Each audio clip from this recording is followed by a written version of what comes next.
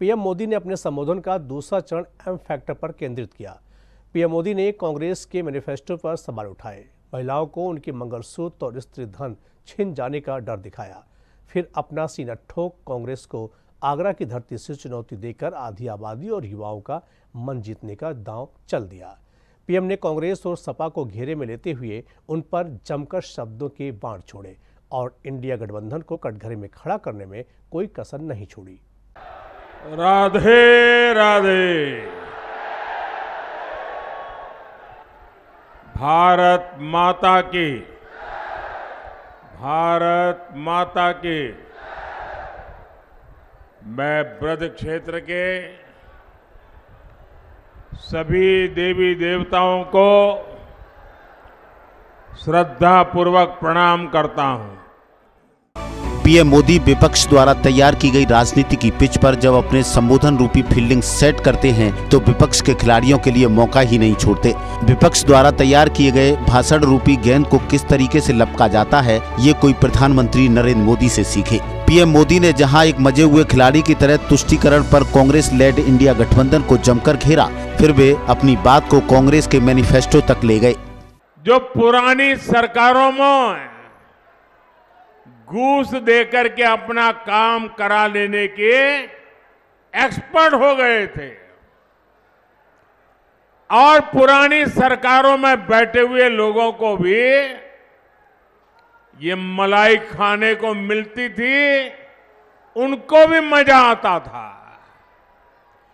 ऐसे सारे लोग, अब मोदी जब शस्त्रों को यहाँ बनाने की बात करता है, देश को आत्मनिर्भर बनाने की बात करता है तो बौखला गए हैं, बहुत नाराज़ है।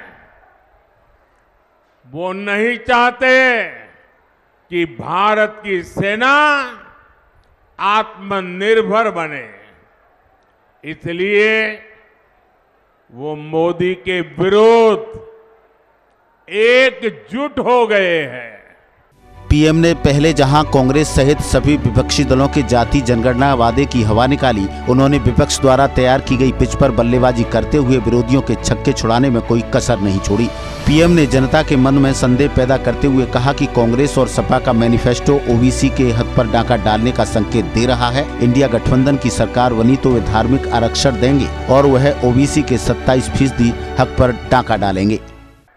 देश में जहाँ जहाँ मौका मिले, ये पिछले दरवाजे से चोरी छिपी से ओबीसी का हक लूट लेना, एससी का हक लूट लेना, एसटी का लूट लेना और उनको दे देना। और इसमें उसे समाजवादी पार्टी का पूरा साथ मिल रहा है।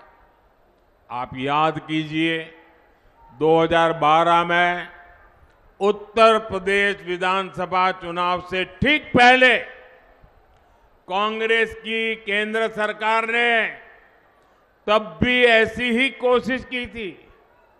इन्होंने ओबीसी के आरक्षण का एक हिस्सा धर्म के आधार पर माइनॉरिटी को देने का फैसला किया था। उन्होंने सपा को भी कटघरे में खड़ा करने की कोशिश की। पीएम ने ब्रज की धरती पर दक्षिण के राज्य कर्नाटक का ज़िक्र किया। पीएम ने कहा कि कर्नाटक में कांग्रेसी सरकार ने धार्मिक आधार पर लोगों को ओबीसी बनाया है, जो ओबीसी के हितों पर डाका है। पीएम ने यूपी में सपा के वोट बैंक यादव समाज पर भी डोरे डाले। उन्होंने कहा कि सपा राज में तुष्टिकरण और वोट बैंक की राजनीति के चलते यादवों के हक पर भी डाका डाला गया है। इसी कांग्रेस ने कभी कर्नाटका में, कभी आंध्र प्रदेश में, कभी अपने घोषणा पत्र में बार बार धर्म के आधार पर आरक्षण की वकालत की।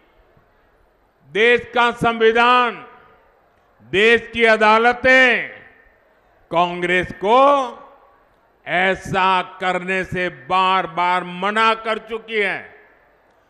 उनकी हर बात को देश के न्यायपालिका ने ठुकरा दिया है। और इसलिए अब कांग्रेस ने पिछले दरवाजे से खेल खेलना शुरू किया है। एससी, एसटी, ओबीसी के आँख में धूल झोंक करके पाप करने के रास्ते बनाने का काम किया है। पीएम ने आगरा में यूपी के दो लड़कों का ज़िक्र कर राहुल और अखिलेश की जोड़ी को कटघरे में खड़ा किया। उन्होंने कहा कि ये दो लड़के तुष्टिकरण और वोट बैंक की राजनीति के लिए एक बार फिर साथ आए हैं। और यहाँ उत्तर प्रदेश में जो दो लड़कों में दोस्ती है ना, इसका भी आधार ये तुष्टीकरण की राजनीति ही है। दोनों मिलकर भाषण में तो ओबीसी ओबीसी करते हैं और पिछले दरवाजे से ओबीसी का हक छीनकर अपने वोट बैंक को मज़बूत करने के लिए देना चाहते हैं। अंबेडकर नगरी में पीएम बाबा साहब को कैसे भूल सकते थे? उन्होंने अंबेडकर अनुयायियों के मन में अपनी जगह बनाने के लिए बाबा साहब और संविधान का जमकर ज़िक्र किया। पीएम ने कांग्रेस और इंडिया गठबंधन के नेताओं पर बाबा साहब और संविधान के अपमान का आरोप भी लगा दिया। पीएम ने कहा कि कांग्रेस और सपा वोट बैंक मज़बूत करने की राजनीति कर रहे हैं, जबकि वे देश को मज़बूत करने की। लेकिन कांग्रेस एक ऐसी पार्टी है, जो आए दिन बाबा साहब का अपमान करती है, संविधान का अपमान करती है, और सामाजिक न्याय की तो धज्जियाँ उड़ा देती है, लीरे लीरे उड़ा देती है। पीएम ने आगरा की धरती पर हिंदुत्व का कार्ड चलते हुए कांग्रेस को जमकर घेरा। पीएम ने कांग्रेस के मैनिफेस्टो को मुस्लिम लीग से प्रेरित बताते हुए इसे मुस्लिम लीग का ठप्पा बताया। वहीं आगरा की धरती से अपनी सरकार का रिपोर्ट कार्ड देते हुए पीएम ने दावा किया कि उनके मॉडल से देश की 25 करोड़ जनता गरीबी रेखा से बाहर आई है।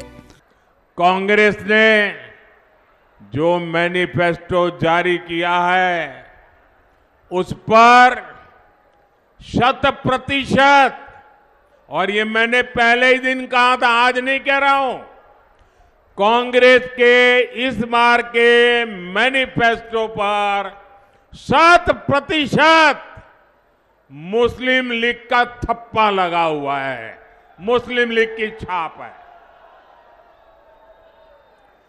कांग्रेस का पूरा मैनिफेस्टो सिर्फ़ वोट बैंक को मज़बूत करने के लिए समर्पित है। पीएम ने कानून व्यवस्था के लिए सीएम योगी की तारीफ़ की। वहीं कांग्रेस नेता राहुल गांधी पर हमला बोलते हुए उन्हें अपने चिर परिचित अंदाज में शहजादे की उपाधि से भी नवाज़ दिया। पीएम ने कहा कि कांग्रेस के शहजादे के एक्सरे की नज़र महिलाओं के मंगलसूत्र और उनके स्त्री धन पर है। मैं दिन रात मेहनत तो करता हूँ और यहाँ उत्तर प्रदेश में मेरी हर योजना को नीचे ले जाने में योगी जी भी रात दिन मेहनत करते हैं। उनकी पूरी सरकार मेहनत करती है। एक्सरे कांग्रेस के शाहजादे की एक्सरे मशीन। अब बहनों, बेटियों की अलमारियों में पहुंचेगी। शाहजादे की एक्सरे मशीन लॉकर में पहुंचेगी। पीएम ने आगरा की जनता से सीधा संवाद किया। कांग्रेस और गठबंधन की नीति, नियत और नारों पर सवाल उठाए। जनता के मन में कांग्रेस राज आने पर उनकी ज़मीन और विरासत छीनने का डर बैठाया और फिर जनता को गुस्सा दिलाते हुए कांग्रेस और गठबंधन के नेताओं को सीधी चुनौती देकर खुद को रक्षक के रूप में प्रस्तुत कर समूची ताजनगरी को मोदी मोदी के नारों से गुंजायमान भी कर दिया। आप मुझे बताइए, क्या आप जरा मैं आप सबसे सुनना चाहता हूँ। क्या आप कांग्रेस सपा को ये पाप करने देंगे? ये बेईमानी करने देंगे? ये आपके अधिकार को लूटने देंगे? पीएम मोदी के संबोधन का दूसरा चरण एम फैक्टर से प्रेरित रहा।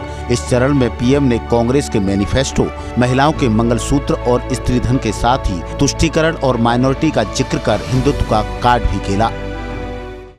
पहले चरण के इलेक्शन के बाद प्रधानमंत्री नरेंद्र मोदी के संबोधन का पूरा भूगोल ही बदल गया है। अब वे इंडिया गठबंधन के दलों पर हमला करते हैं, कांग्रेस का डर दिखाते हैं और कांग्रेस की योजनाओं की बात कर जनता के समक्ष ये परसेप्शन छोड़ते हैं कि कांग्रेस आएगी तो उनके धन और ज़मीन में से आधा हिस्सा ले जाएगी। कोठी मीना बाज़ार मैदान से अपने साथी राकेश कनौजिया मनीष जैन, आयुषी गौड और अखिलेश दुबे के साथ विजय बघेल, सी न्यूज़ आगरा।